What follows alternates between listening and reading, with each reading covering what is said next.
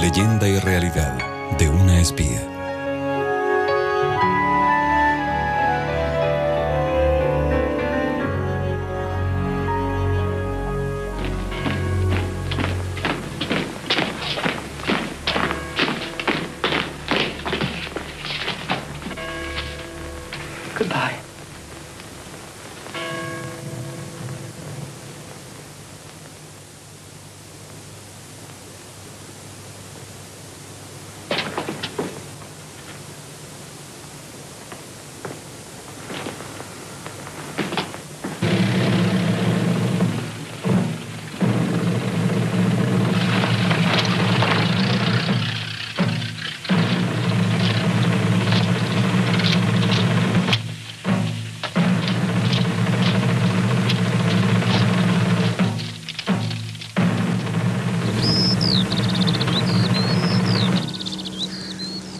Won't be necessary.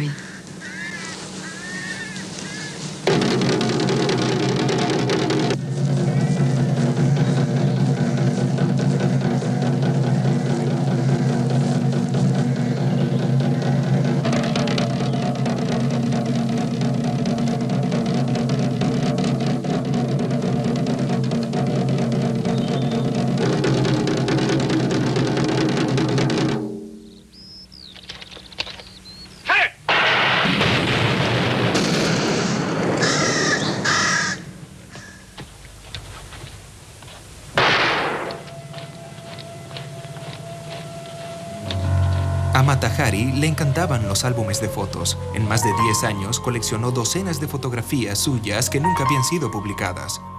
Estos álbumes se salvaron milagrosamente después de su muerte. Ahora son mostrados por primera vez.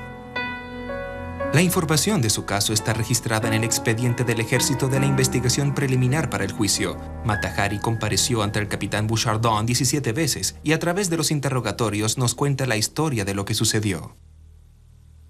Madame Sell es acusada con cargos de espionaje. ¿Es culpable o inocente? Capitán Bouchardon, juro usted que nunca fui espía. Soy inocente. Soy holandesa. ¿Podría hablarnos de su pasado? Nací y viví en Leeuwarden hasta los 12 años.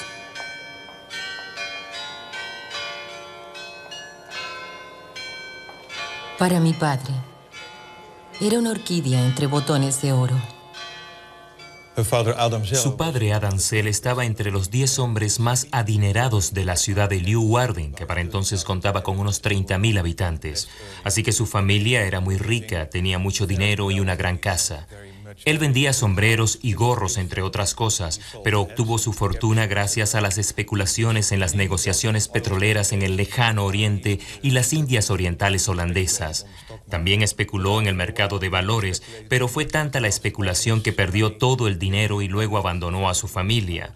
Se fue solo a Ámsterdam y La Haya, dejando a su familia en Leeuwarden, Luego se divorciaron oficialmente y unos meses después la madre de Mata Hari enfermó y murió en mayo de 1891.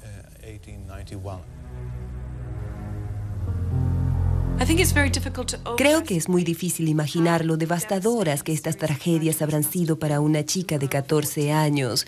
Margarita no solo había perdido a su madre, a la que estaba muy unida, sino también a su padre, a su familia, y además había perdido su posición social. Sin duda, su futuro debía parecerle muy sombrío.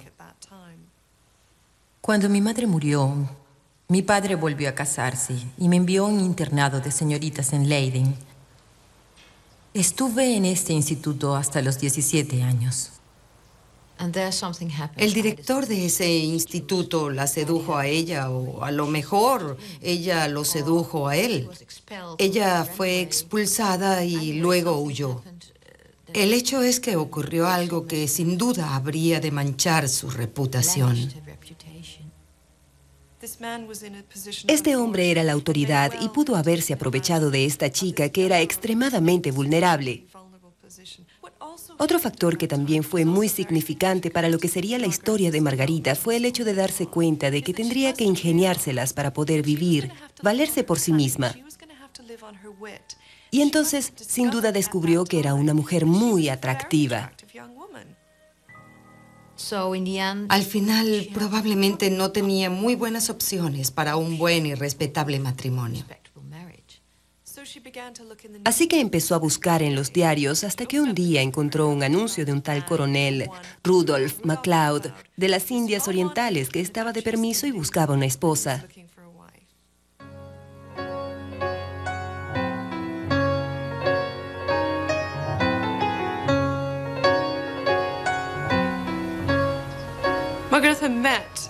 Margarita conoció al que sería su esposo, coronel Rudolf MacLeod, en el Museo Rix, que era un lugar algo burgués.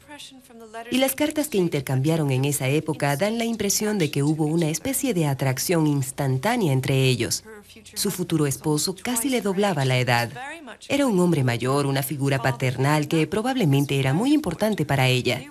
Era alguien que representaba estabilidad, que representaba autoridad y un buen futuro para ella.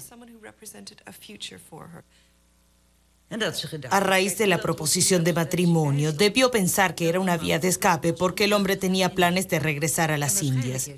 Y quizás ella creyó que era una escapatoria. También influyó la combinación de un bonito uniforme y el hecho de que era un hombre realmente apuesto. Margarita era sexualmente muy precoz y muy segura de sí misma. Escribía en una forma muy coqueta. Johnny, que era como un apodo que usaba ella para él. ¿Usó el fondo por encima de la rodilla o por debajo de la rodilla? También hay una referencia muy explícita al hecho de que planeaban tener relaciones sexuales antes de casarse. Me preguntas si quiero hacer algo atrevido. Bien, Johnny, ¿por qué no? Si en apenas una semana seré tu esposa. Qué suerte que ambos seamos tan apasionados. Entonces él dijo, caramba, qué muchacha tan bonita. Ella lo sorprendió.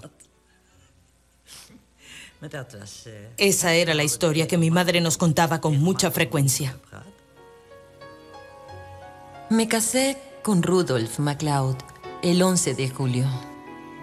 Cuando nació nuestro hijo Norman, me llevó con él a las Indias Orientales holandesas.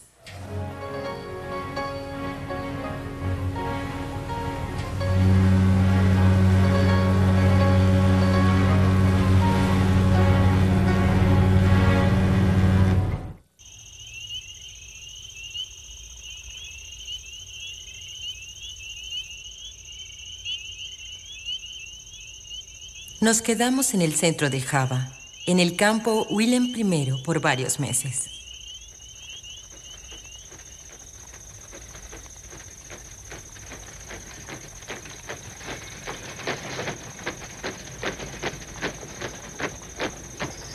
Luego, mi esposo fue transferido a Malang. Allí nació nuestra hija, a quien llamábamos Non.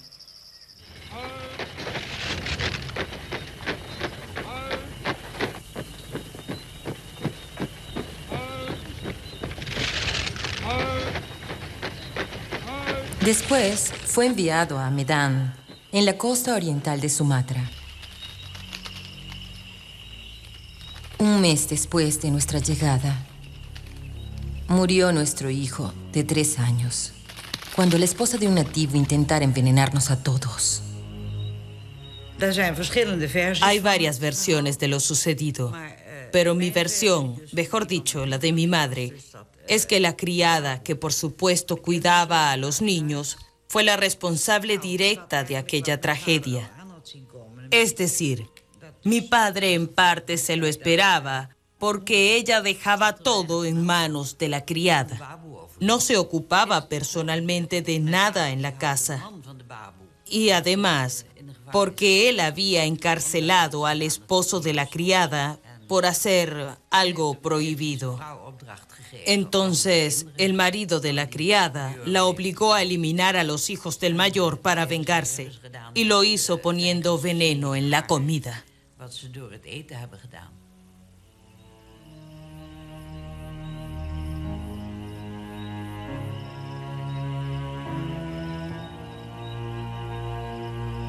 El envenenamiento era algo común en las colonias, una forma indonesia de matar a la gente.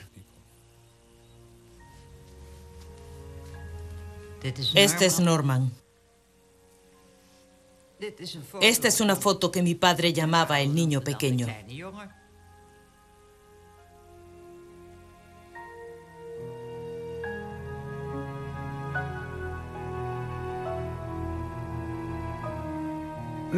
Mi padre estaba devastado.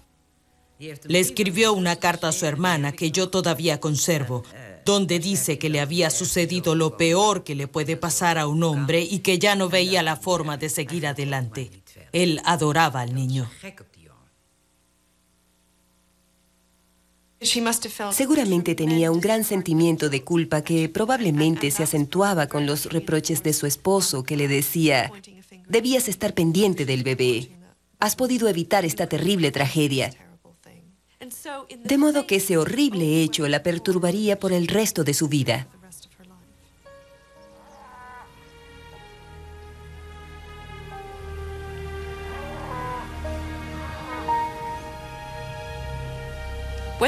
Cuando los MacLeod volvieron a Holanda, la separación era inminente. Habían empezado a odiarse el uno al otro.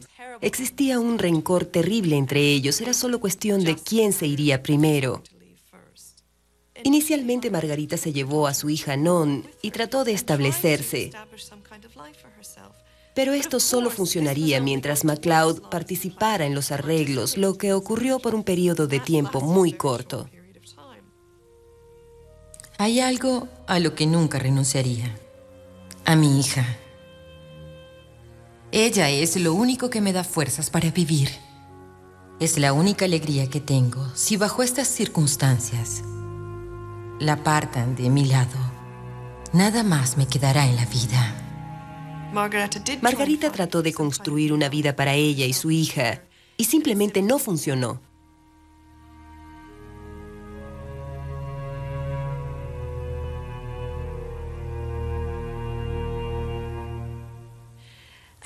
Así que decidió irse a París.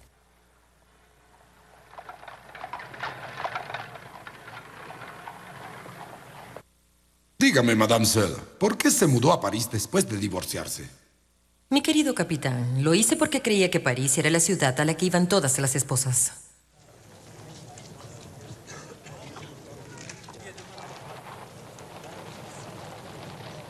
En París se convierte en otra persona y creo que probablemente ese haya sido el momento en que empieza a inventar a Matahari, la bailarina de Indonesia, la mujer sin pasado, una mujer sin aquel terrible sentimiento de culpa, responsabilidad y dolor. Soñaba con bailar la danza nativa de las Indias, integrando mis vivencias.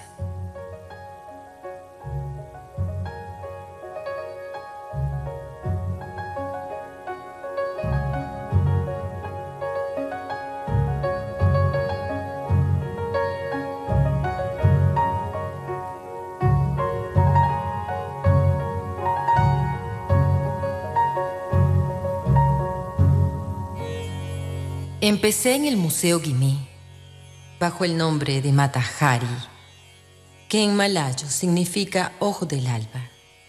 E inmediatamente comenzó mi carrera.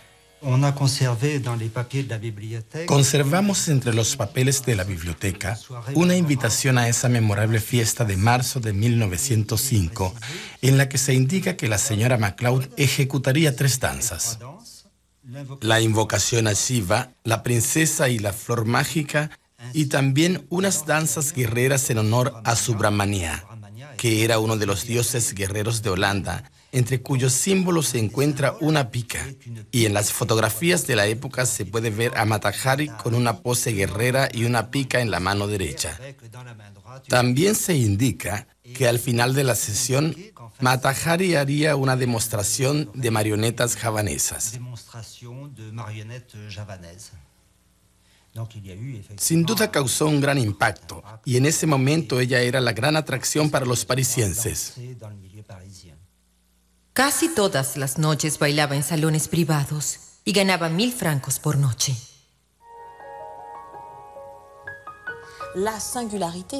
La singularidad de Mata Hari radica en el hecho de que ella realmente inventó el personaje de la bailarina hindú, personaje considerado parte de un espectáculo de variedades hasta comienzos de los años 30. Ahora bien, ¿quién es la bailarina hindú? Es una artista de talento coreográfico más o menos confirmado que se inventa un seudónimo exótico, que se inventa una historia de vida procedente esencialmente de la mistificación. Nací en Java, en medio de la vegetación tropical. Desde pequeña me enseñaron el verdadero significado de estas danzas, que son parte de un culto, de una religión.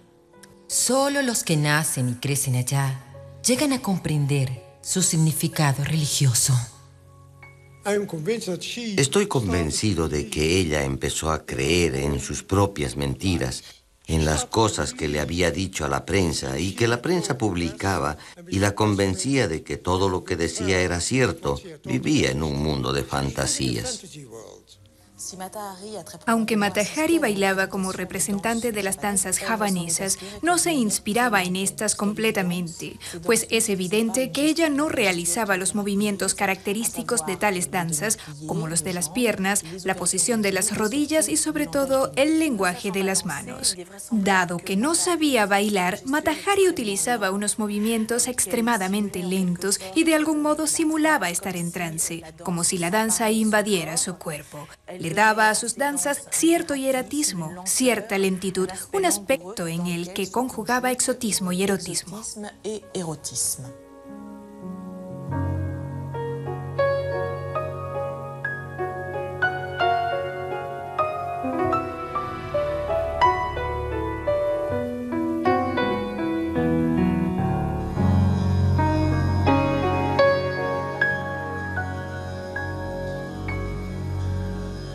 Madame Sell, ¿podría continuar con su testimonio?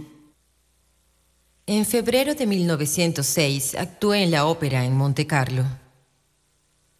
Allí me convertí en la amante del teniente Alfred Kuipert. Me llevó a vivir a Berlín y viajamos mucho gracias a su gran fortuna.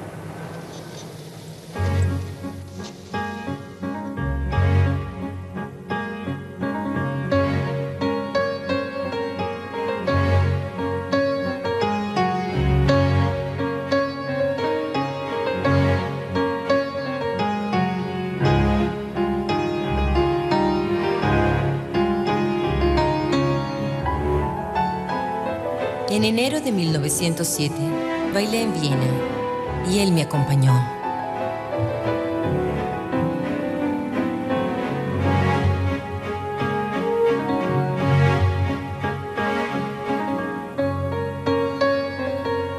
Me encantan los oficiales. Siempre me han gustado. Preferiría ser la amante de un oficial pobre que de un banquero rico. Mi mayor placer es poder ir a la cama con ellos sin pensar en el dinero. También me gusta probar con distintas nacionalidades.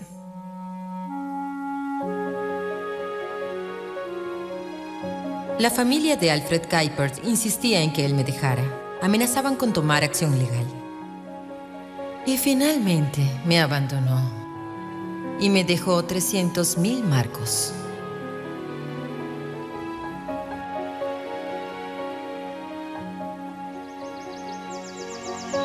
Regresé a París, donde el banquero Rousseau me hizo su amante.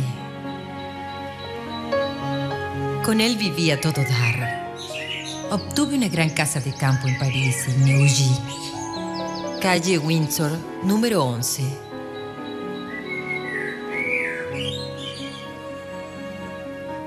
Y una mansión en Turín llamada La Dorée. Usted misma ha dicho que es una mujer internacional y que poco antes de la guerra había tenido relaciones íntimas con tres oficiales alemanes. El hecho de que haya tenido relaciones íntimas con ciertas personas no implica que tenga que ver con el espionaje. Ciertamente, como bailarina profesional, me relacioné con personas en Berlín sin ninguno de los motivos sospechosos que usted supone. Además, ¿cómo iba a saber que entonces habría una guerra? En junio de 1914 estaba en Berlín, preparándome para un contrato de seis meses que había firmado con el Teatro Metropol. Luego se declaró la guerra. Y la policía trataba muy mal a los extranjeros. El presidente del banco me dijo que como yo había vivido 10 años en Francia, se me consideraba francesa. Y no quiso devolverme mi dinero ni mis joyas. Tuve que irme de Berlín sin un centavo. Cuando llegué a mi país, me sentía muy avergonzada. No tenía dinero, pero contaba con un viejo amor en La Haya, el coronel Barón van der Kapelin, que era casado y muy rico. Recurrí a él y me instaló en La Haya, en un cómodo departamento. Sigue siendo mi amante. Mi estadía en La Haya fue muy triste. Algunos de mis amigos, especialmente el doctor que me ayudó a traer a mi hija al mundo, trataron de que me reuniera con ella. No la había visto en seis años. Pero todo esfuerzo fue inútil, pues mi hija se negaba a verme. Me sentía muy sola.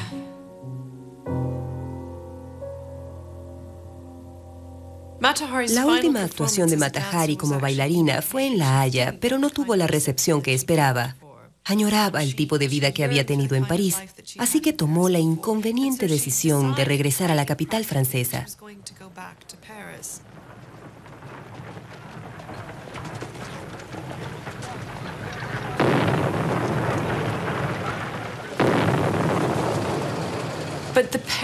Pero la ciudad a la que llegó Matahari era distinta a la París que ella imaginaba.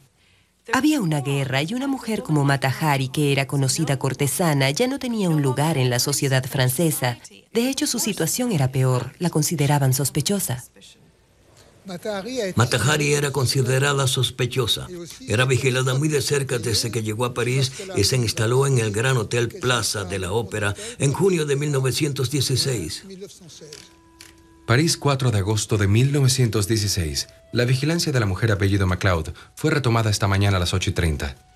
Salió de su habitación a eso de las 10 y tuvo una larga charla con dos oficiales en el Winter Garden. Después del almuerzo, se reunió con un oficial de identidad desconocida. Dos detectives la seguían día y noche, controlaban toda su correspondencia y escuchaban sus conversaciones telefónicas. París, 5 de agosto. MacLeod salió del hotel a las 10 a.m., acompañada del oficial ruso mencionado ayer y que fue identificado como Demaslov Vadim, de 21 años, capitán del ejército ruso, nacido en Odessa, proveniente de La Pan. Conocí un oficial ruso, capitán Vadim Demaslov. Nos hicimos amantes y fue un gran amor para ambos. Estos detectives redactaban un informe de vigilancia que era entregado al capitán Ladoux, que era el jefe del contraespionaje francés. París, 6 de agosto. Se nos informó que MacLeod pensaba ir a Vitel por un remedio. Trató de obtener un permiso especial para entrar al área ocupada por el ejército. En ese entonces quería ir a Vitel. Me notificaron que fuera el número 282 del Boulevard Saint-Germain. Me recibió muy cordialmente un caballero vestido de civil, el capitán Ladoux. Me dijo, si ama a Francia, estará dispuesta a prestarnos importantes servicios. ¿Ha pensado en ello? Yo le dije, sí y no. ¿Lo haría? Nunca lo había considerado. Usted ha de ser muy cara. Eso Definitivamente. Estamos en el 282 del Boulevard Saint-Germain, sede del contraespionaje francés. Fue aquí donde el capitán Ladoux hizo su proposición a Matahari, quien se tomó dos semanas antes de aceptar. Los informes de vigilancia sí lo confirman. Vitel, 2 de septiembre de 1916. La señora MacLeod, a quien seguimos hasta Vitel, Llegó al lugar el 1 de septiembre a las 4.30 pm. Fue al Gran Hotel, donde está hospedada. Vitel, 3 de septiembre de 1916. Durante todo el día, MacLeod solo salió del hotel para tomar las aguas y para dar un pequeño paseo por el parque. En el camino habló con tres oficiales.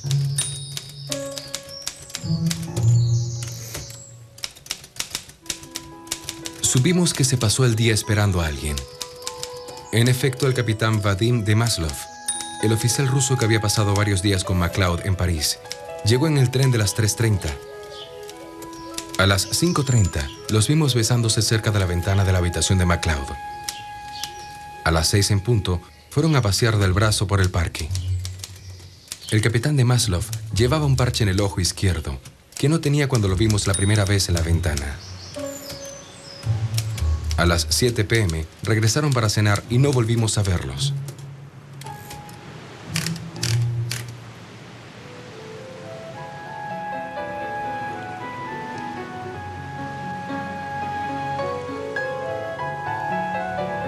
Vadim estaba gravemente herido porque había sido gaseado y perdió la vista del ojo izquierdo. Una noche me preguntó si me casaría con él. Le respondí que sí y comencé a pensar. Mi futuro estaba totalmente arreglado. Le pediré al capitán Ladou suficiente dinero como para no tener que serle infiel a Vadim. Al regresar a París, hablaré con Ladou. Le diré, esto es lo que pienso hacer. Iré a Bruselas con mis mejores trajes y frecuentaré el alto mando alemán. Por eso quiero un millón de francos. Pero me pagará solo después de confirmar el valor de mi información. El proyecto de un gran plan de espionaje en Bruselas parecía una fantasía. La lo aceptó al igual que el pago que exigía Matahari. Un millón de francos, una suma enorme para la época.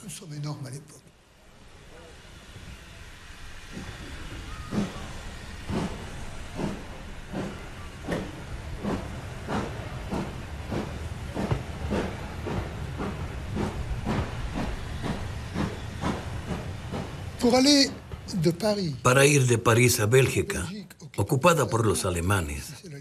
Esta es la frontera de Francia, pasando por Holanda. Ladú dejó que Matahari escogiera entre dos caminos. Un camino corto pasando por Suiza y Alemania y un camino muy largo que pasa por España. Decidí viajar a Bélgica por la ruta sur vía España. Abordé el Hollandia, que zarpó desde Vigo y seis días después llegué a Falmouth. Nada especial ocurrió durante la travesía. Pero ese camino largo pasaba por La Mancha, donde los ingleses desviaron el buque para inspeccionarlo. En Falmouth, unos policías y soldados abordaron el barco. Me sacaron del barco y me enviaron a la jefatura central de la policía londinense. Me habían confundido con la espía alemana Clara Benedix. Finalmente me liberaron, pero me prohibieron regresar a Holanda. Tuve que volver a España, donde había empezado mi viaje.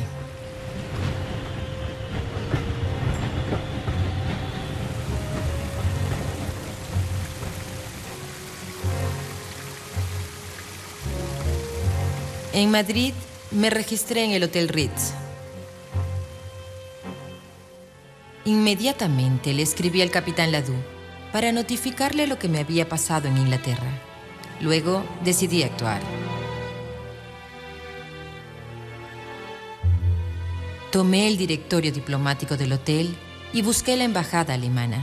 Averigüé que el agregado militar era el mayor Arnold Kalle, residido en Vía Castellana, número 23. Ese mismo día le escribí. Al siguiente día fui a verlo.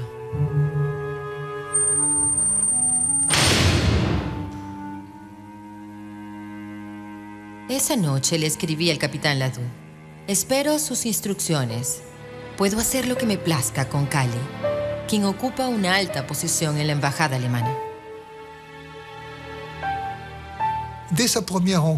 Desde su primer encuentro con el agregado militar alemán, Matahari logró seducirlo y le sacó algunas informaciones que ella consideraba importantes, pero que realmente ya eran del conocimiento de los franceses. Dos días después, el lunes 11 de diciembre, se encontró por casualidad con el agregado militar francés, el coronel Danvigne, quien se enamoró perdidamente de ella. El coronel Danvigne le pidió a Matahari que consiguiera informaciones valiosas con el mayor alemán, pero este comenzó a desconfiar y se negó a responder a las preguntas de la bailarina. Decidió investigar la vida de Matahari y así descubrió todas sus artimañas. El castigo por su traición se iniciaría el miércoles 13 de diciembre. El mayor envió a Berlín una serie de radiotelegramas.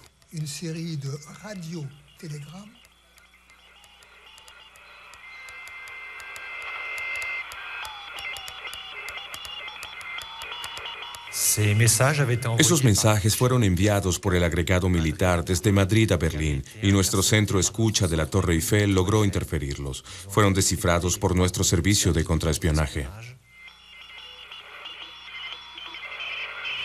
Es probable que haya utilizado adrede un código que pudiese ser descifrado.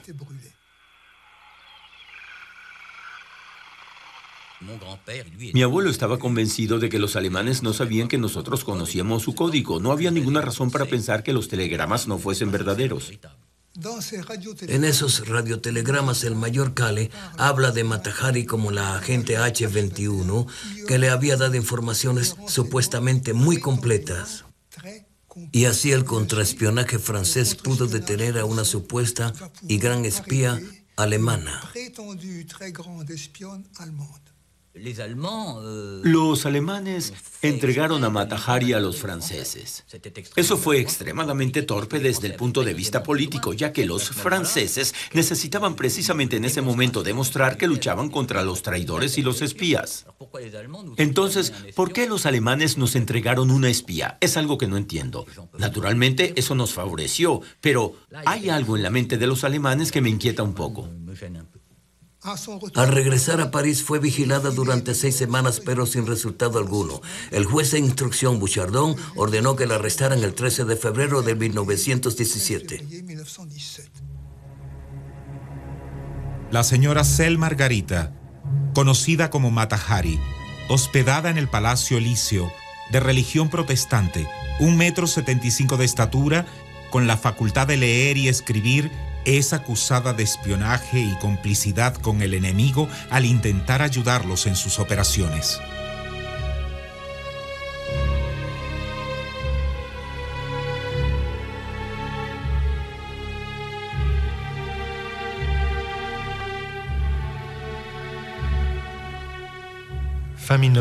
Entre finales de 1916 y principios de 1917, Francia enfrentó una grave crisis. Las tropas no eran eficientes, la moral había bajado y las sublevaciones se multiplicaban. En la guerra, los civiles aspiraban la paz. Era absolutamente necesario elevar la moral del pueblo y probar que los franceses eran completamente capaces de contrarrestar las operaciones del espionaje alemán. En ese momento cae el caso Matahari, que representaba un verdadero bien para el Ministerio de la Guerra.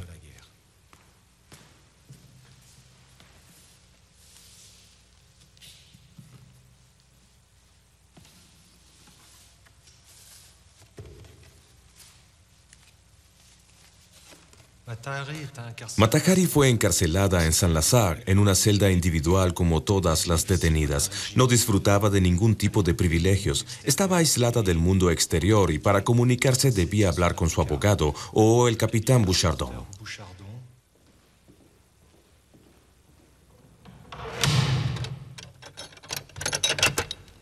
El impacto me ha alterado tanto que ya no soy yo misma. Creo que estoy enloqueciendo. Le suplico que no me deje encerrada en esta celda un día más. Es terrible mantener a una mujer como yo aislada bajo semejantes condiciones. No puede imaginar cómo son las condiciones de vida en San Lazar. La soledad, la inmundicia y la degradación. El capitán Bouchardon era el oficial acusador, es decir, el juez de instrucción oficial. Se encargaba de interrogar a los testigos y a Matahari y de examinar las evidencias. También era el responsable de la vida de Matahari hasta el día del juicio.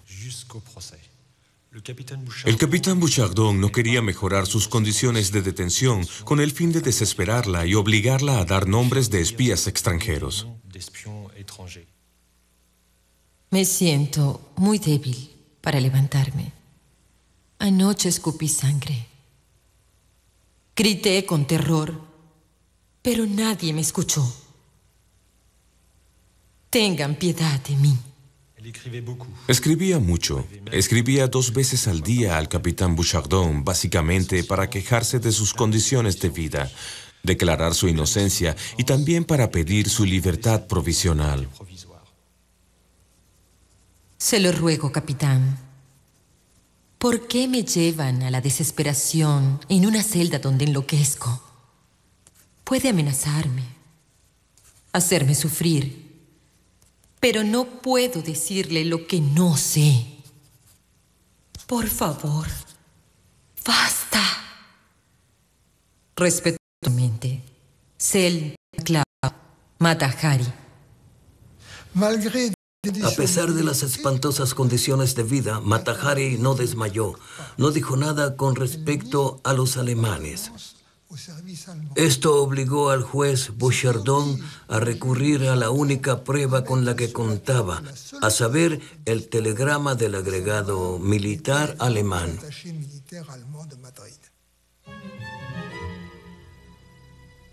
Madame Sell, tenemos evidencias que demuestran que ha jugado el más osado juego con los servicios de espionaje enemigos. Usted es la agente H-21 y trabaja para la Oficina Central de Información de Colonia. Pretendía aceptar la oferta del capitán Ladoux y viajar a Bélgica en su nombre. En el mes de diciembre de 1916, recibió en París la suma de 5.000 francos desde Alemania y finalmente le suministró a los alemanes información detallada relacionada con diversos puntos de importancia política, diplomática y militar. La persona de la que Kale habla en sus telegramas es usted. He decidido decir la verdad. Si hasta ahora no lo había confesado es porque estaba avergonzada. En octubre de 1915, estaba en mi casa en La Haya.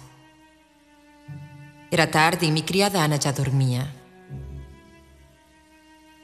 Alguien llamó a la puerta y fui a ver de quién se trataba. Frente a mí estaba el señor Kremer, el cónsul alemán en Ámsterdam, que había escrito para anunciar su visita, pero sin decirme por qué deseaba verme. Él sabía que había pedido un pasaporte para ir a Francia.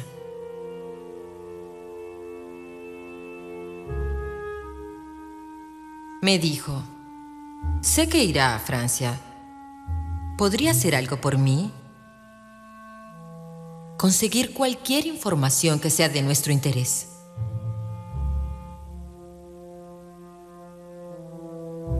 Si acepta, le pagaré 20 mil francos.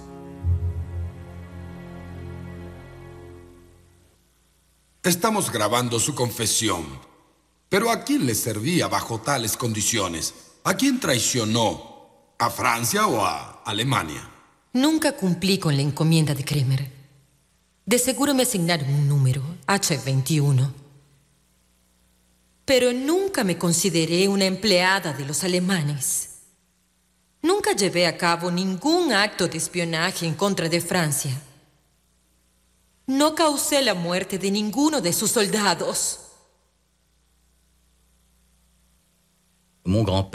Mi abuelo no tenía ninguna duda con respecto a su culpabilidad. Yo diría que para el momento del juicio, él estaba seguro de que ella le había dado a los alemanes información extremadamente importante.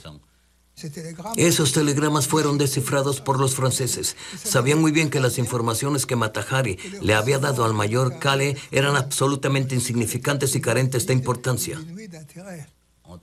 En materia de espionaje, es el hecho de espiar lo que se paga con la pena capital. No depende de la importancia de la información que se da.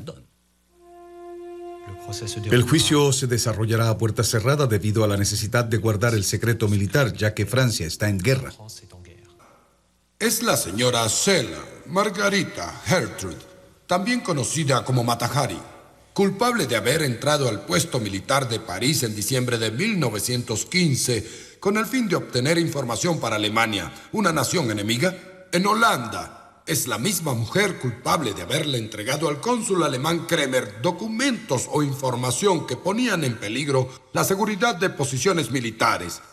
En Madrid, diciembre de 1916, es la misma persona culpable de haberle comunicado al agregado militar alemán Kale ciertas informaciones para ayudarlos en la guerra. El juez militar respondió sí a las ocho preguntas que se hicieron debido a la situación de la época y a la forma en que fueron informados o desinformados. Solo podían condenarla a muerte por unanimidad. En consecuencia de lo cual, el consulado, por unanimidad, condena a Shell Margarita Gertrude a muerte. La acusada también deberá pagar costos legales al Estado. Hoy todo se derrumba a mi alrededor. Todos me han dado la espalda, hasta el hombre por quien habría dado mi vida. Nunca hubiese imaginado que los humanos pudieran ser tan cobardes. Pero sí lo son. Estoy sola. Yo misma me defenderé. Y si tengo que caer, lo haré con una sonrisa de profundo desprecio.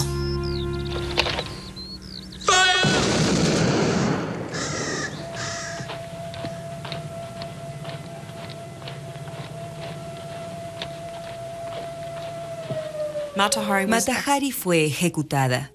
Pero como nadie reclamó el cuerpo, en París empezaron a correr los rumores de que Matahari se había salvado, que había aparecido un hombre en un corcel blanco justo a tiempo para salvarla, o que escapó porque al quitarse el abrigo y mostrar su hermoso cuerpo deslumbró tanto a los soldados que fallaron al disparar.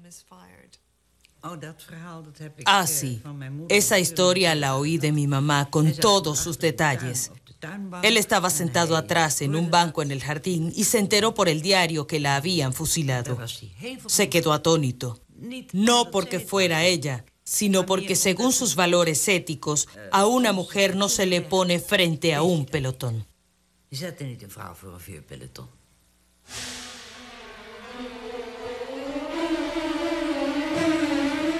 Matahari realmente es un icono femenino del siglo XX. Es un símbolo sexual muy poderoso y como es universalmente reconocida, después de todo es la mujer fatal, permanece en una especie de imaginación ficticia.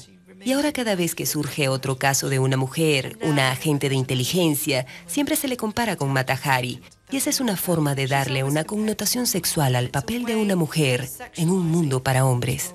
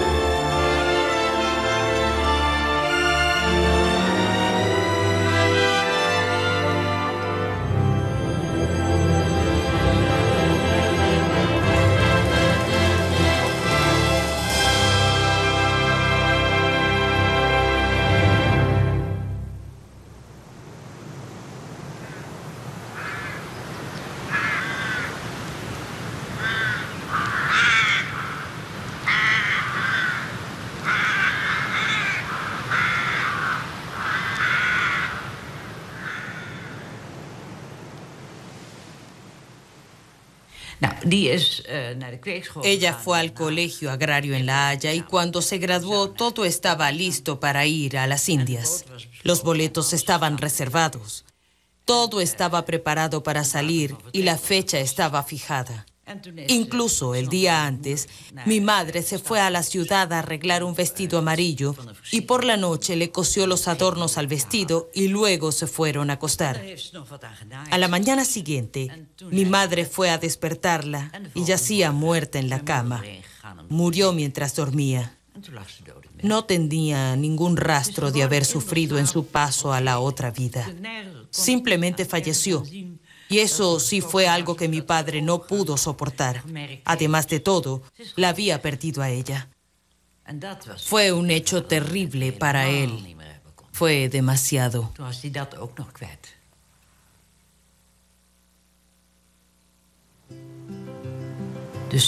Por ello no hay ningún nombre de la familia en la lápida, porque mi padre no quiso que nadie viniera a visitar la tumba.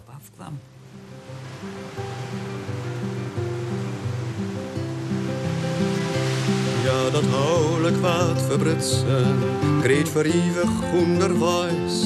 Is ver naar Europa stutsen, maar je moeltje vol malaise. Ja, bezocht op vreemde stritten, in Parijs en in Berlijn. Al haar jermoete feiten, bij muziek en brandewijn. En ja, kezen oren namen zat hier net eens bestiert. Ja, vertelde onbeskamme dat je heet. Vier van het land voor je mijn scepties bij de poorten van de hel. Maak ja een drieste striptease, want haar spierlijk leed te fel. De eerste van de Bayaderen leven zien een glorieroes. En bij militairen via Gauws ben en doet de eerste vrootkrieg voeren en Parijs bedriegelij. Het rucht haar uit de gloede van haar wilde nachten waai. In een cel met Brits en tonnen hebben je haar feesten zet. Via wierlijke spionne, maar de Harry wist het net in het dichthoes Saint-Lazare